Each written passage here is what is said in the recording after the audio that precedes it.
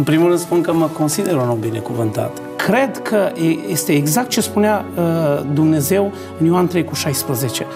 Fiindcă atât de mult a dat, uh, fiindcă atât de mult a iubit încât a dat.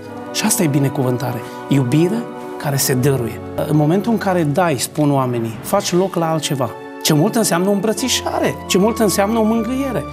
Și asta e o binecuvântare pentru mulți oameni. A fi binecuvântat înseamnă a umbla cu Dumnezeu, a trăi împreună cu El.